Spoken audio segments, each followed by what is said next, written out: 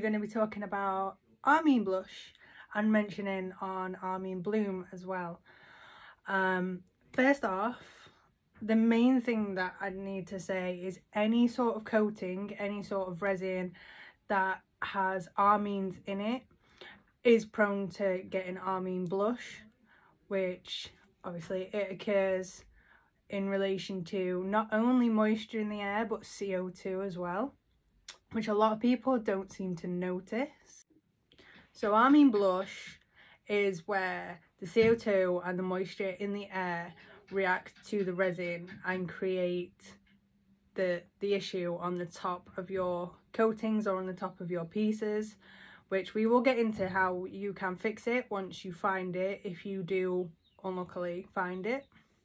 now how do you recognize if it is Amine blush usually it can occur while your item is curing. It can occur days weeks couple of months afterwards. Um, it will show up as either a duller finish on your surface so it won't be shiny like you would expect it to be. It can look a bit like oil slick and it can be a bit greasy and not feel very nice. It can also show up if it leaves crystally deposits on the top it can show up um, like a horrible white rough surface as well whereas Amine Bloom is where the moisture and the CO2 in the air react with the amines and the primary compounds in the mixture and they migrate to the surface. So in the case of Amine Bloom, what you'll often find is sticky patches or possibly indentations in your piece that haven't cured. So if all of your piece is fine and you have this horrible sticky patch and it's definitely not because you haven't mixed properly then it could be Amine Bloom and this would need to be scraped out as much as possible and then another coat which should fix the problem. If you come across Amine Blush you need to wash the piece first. You need to get an abrasive pad something not too aggressive but an abrasive pad some warm water and you can use a little bit of washing up liquid as well um what you need to do is you will need to rub your piece with the the wet abrasive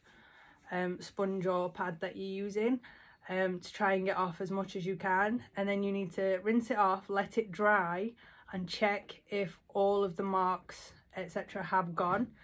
If they have gone then and only then can you sand it back to put on another layer. Because if you try to sand without washing off the water soluble Amine blush then your sandpaper will be clogged up with the Amine blush and it will cause you problems and it, it won't you won't be able to get rid of it the same way as you would washing it first then doing the sanding to put your next coat on Another thing you can do is if your piece has not cured, if your piece is still tacky and you notice Amine blush or bloom forming, then you can do another coat while it is still tacky. So then the new coat of resin will actually break down the surface of the old layer and chemically bond to your pe to to the first layer. But you need to make sure that your environment is in a different state otherwise you will get the same problem again another thing that people mention and I do notice quite a lot when I see and deal with people's problems is they could have a large item or six coasters all that cured in the same area and some are perfectly fine or most of the item is perfectly fine but then a patch or one or two of their coasters have come out with Amine blush. This can be related to your airflow. If you do not have adequate